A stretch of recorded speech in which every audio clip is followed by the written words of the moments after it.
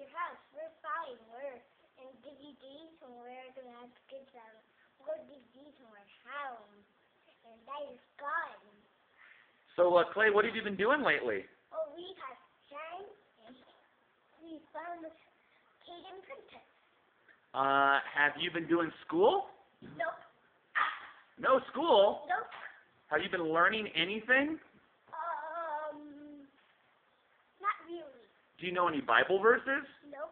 You don't know any Bible verses? Come on, you can tell me at least one Bible verse. I know. Tell me a Bible verse.